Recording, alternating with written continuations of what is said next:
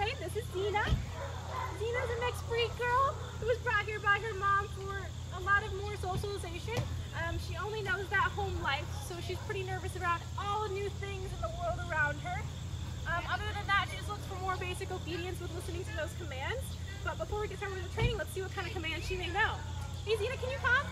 Hi, Zena. I'm right here. Come here. Oh, good girl. I know. You're nervous. Hey, Zena, can you sit? drink water. Can you sit? So tired. Wow, that's a good sit, Zena. Good job. Okay, can you down? Zena, can you down?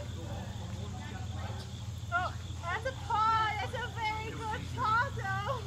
Okay. Let's see how you do for a walk. Can you jump?